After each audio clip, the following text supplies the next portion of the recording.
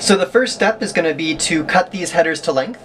And what I like to do is just line them up next to the board and figure out exactly how many header pins I'm going to need and then come in and cut them off. Just like that.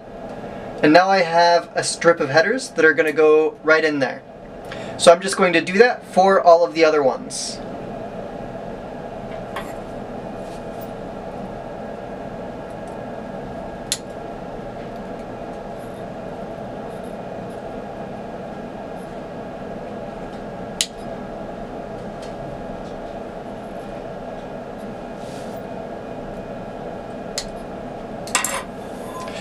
Once I have all of the headers cut, I'm going to actually put them into the Arduino first, and that's going to hold them in the right position. So I'm bringing the Arduino over here, and now I'll put the headers right in.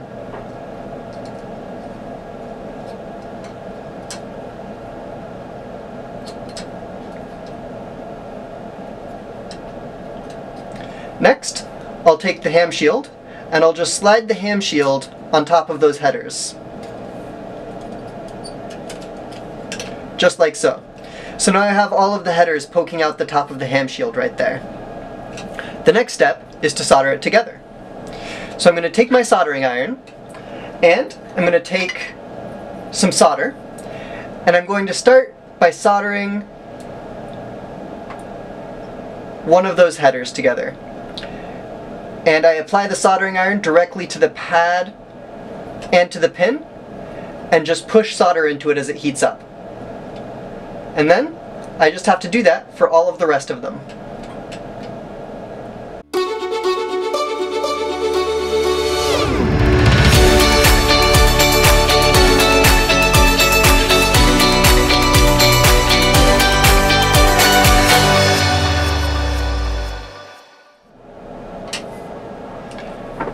Okay, so once that's done, the only step left is to solder on the SMA jack.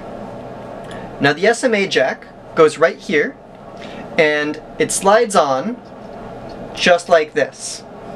And it needs to be soldered in five different positions. Three on the top and there's two positions on the bottom that we have to solder. And the easiest way to do this is to solder in the uh, RF trace first and then all of the ground traces later. So what I'm going to do is I'm going to heat up the RF and solder it on. And I might push it out of position a little bit while I'm trying to do this, which is fine. I'm just going to heat up that trace and get a little bit of solder there in order to keep it in position. And I can actually move this around while I'm soldering it in place.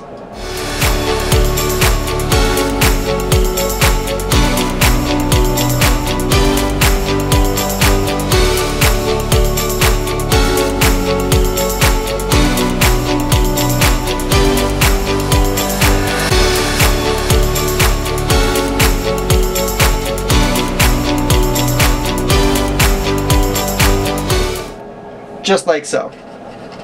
And so that actually taps it in place. So it's not going to move around, and then I can solder all of the rest of the positions.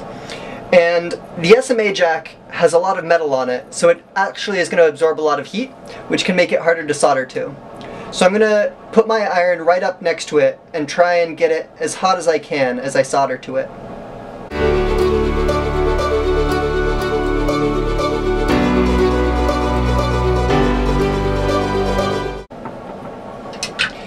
Now, there's two more pads that I have to solder, so I'm actually going to disassemble it real quick.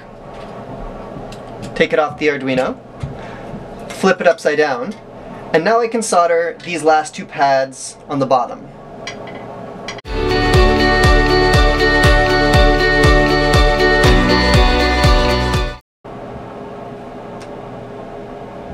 Alright, now the last thing that I want to do is make sure that all of my pins look good.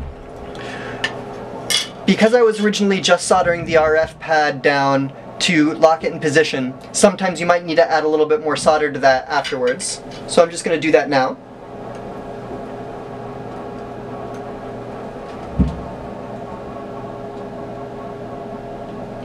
Alright.